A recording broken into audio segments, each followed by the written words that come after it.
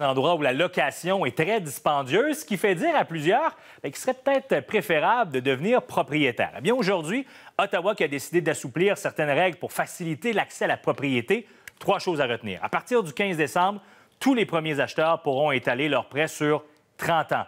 Tous les acheteurs qui en sont à leur premier ou deuxième, troisième achat vont pouvoir étaler sur 30 ans s'ils font l'achat d'une habitation neuve. Et l'autre élément à retenir, le plafond des prix pour les prêts hypothécaires assurés va passer de 1 million à 1,5 million. Est-ce que ça va faire vraiment une différence? On en parle avec Gabriel Caméré, qui est courtier hypothécaire. Bonsoir, M. Caméré.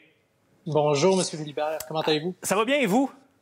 Ça va très bien, merci. Bon, allons-y avec le premier élément. Les prêts hypothécaires sur 30 ans, peu importe le type de construction, est-ce que ça va faire une réelle différence pour les premiers acheteurs? Absolument, parce que ça va nous permettre d'étirer le prêt hypothécaire. Initialement, on était sur 25 ans, maintenant sur 30 ans. Il y a beaucoup d'acheteurs qui ont la mise de fonds nécessaire, mhm. mais leur budget ne leur permet pas d'étirer sur 25 ans et, d'acheter la propriété qu'ils souhaitent. Donc, de le mettre sur 30 ans va donner beaucoup plus de flexibilité au niveau du budget et beaucoup plus d'options euh, aux acheteurs. Et cette mesure-là va s'appliquer même à ceux qui n'ont pas la mise de fonds, donc une mise de fonds qui est inférieure à 20 avec le prix des maisons actuelles, j'imagine que ça doit être quand même fréquent de voir des, premiers acheteurs dans cette situation-là.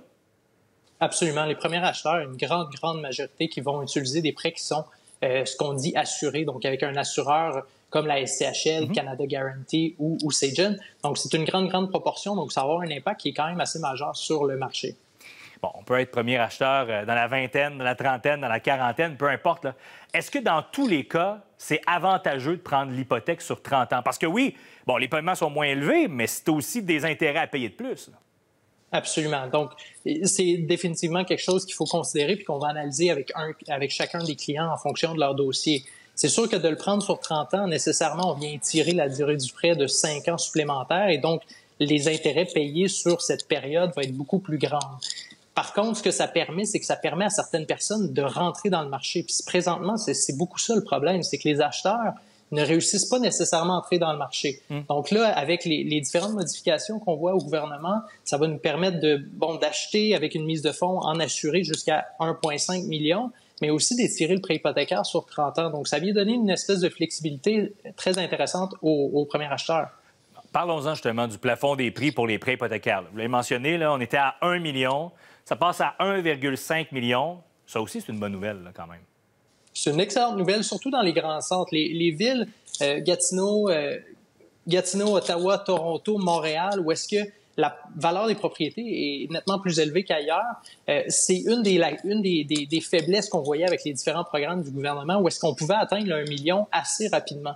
Hmm. Nécessairement, des villes comme Toronto, Montréal, si on, ça nous permet d'emprunter jusqu'à 1,5 million de dollars en assuré, ça va donner beaucoup plus d'options aux emprunteurs qui sont qui, qui ont peut-être pas la mise de fonds nécessaire. Sur un million, la mise de fonds nécessaire quand on était en, conventionnel, donc avec le 20% de mise de fonds, chose qu'il fallait faire avant cette nouvelle, c'était quand même 200 000 dollars de, de, mise de fonds. Donc c'est substantiel, c'est pas accessible à tous. Euh, on a beaucoup de personnes qui viennent, qui sortent de l'école, qui ont peut-être pas la mise de fonds nécessaire, mais qui peuvent avoir d'excellents des, revenus. Donc, c'est ce type de clientèle-là qui vont être euh, impactés par cette nouvelle mesure. Parce qu'au fond, on s'adapte un peu à la croissance des prix du marché, là, parce que depuis 2012, on s'entend que la, valeur des résidences avait beaucoup augmenté. Exactement. Donc, depuis 2012, on est rendu sur, euh, sur 25 ans. Puis, euh, nécessairement, le, million est certain de manière beaucoup plus fréquente que dans le passé parlait de la pénurie de logements il y a quelques instants. Selon vous, est-ce que ça va réellement faire une différence? Est-ce que le téléphone va sonner davantage pour obtenir des prêts, acheter une résidence? Je, je pense pas. La raison, c'est que, veux, veux pas, quand on vient changer ces règles-là, on vient simplement donner une accessibilité supplémentaire à un bassin d'acheteurs qui peut-être ne qualifiait pas. Donc, on vient en fait créer plus de demandes et il n'y a pas nécessairement plus d'offres sur le marché.